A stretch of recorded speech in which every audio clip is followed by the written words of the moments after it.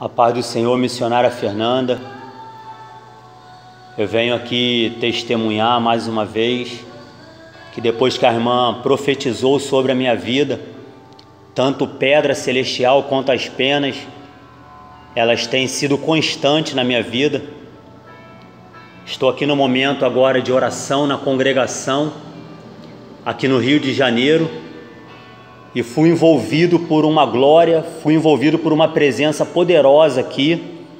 E quando eu olho para o meu lado no chão, estava essa linda pedra celestial. E eu venho testemunhar para que o nome do Senhor Jesus ele seja glorificado e que o Senhor continue te abençoando, irmã Fernanda.